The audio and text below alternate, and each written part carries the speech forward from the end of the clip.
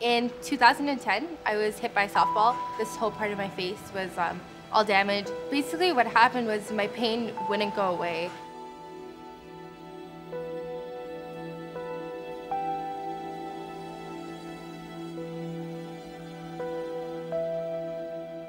Pain is something that really is traumatic for children.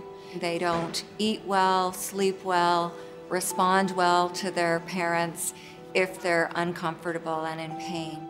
The estimate from the uh, Institute of Medicine in the United States has been that chronic pain costs more to society than cardiac disease and cancer combined.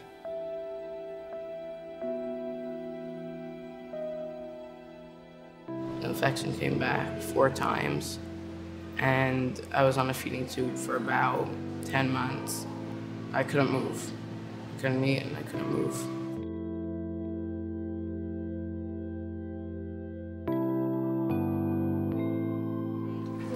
Post-op? she's no, she's day three post-op. Oh, day three post-op. Yeah, she's day three post-op.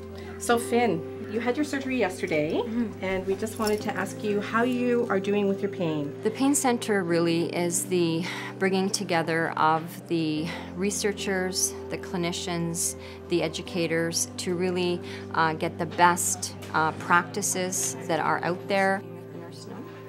So you can have that if you need to, right? You can ask the nurse for that and she'll bring you some and put it through your IV. Newborns can't verbally tell us that they have pain. And so we are challenged to assess their pain in the best way that we can so that we can actually implement the best strategies to minimize their pain. We need to fully understand the complexities of pain, how pain impacts not only the infants and children and youth that we serve here at Sick Kids, but also their families. unbelievably tough. It's amazing how how much you care care for somebody and how it tears you apart inside. It hurts a little. What would you say it is out of 10? 10 being the most pain. Two? Okay. We really need to improve pain outcomes for children. Uh, we want to make sure that we treat um, patients at the right time, in the right place, with the right interventions. So the use of pharmacological, physical, and psychological strategies leads to improved uh, pain outcomes for children clinically. Pain, in particular chronic pain, has been a, seen as a symptom of disease.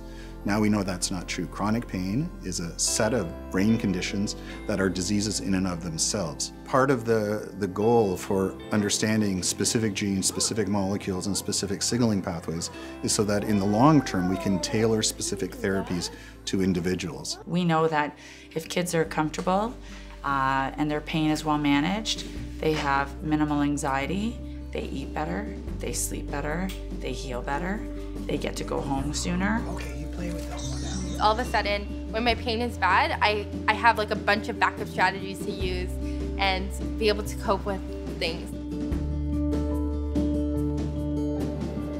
And we need to be able to develop rational and effective therapies. And that's why the Pain Center needs increased funding, because there's been a dearth of funding for this kind of research, not just at SickKids, but globally. It's been amazing to feel like I have the support of like a whole team behind me. I mean, without them, I wouldn't be able to function every day. In a hospital, pain is everywhere.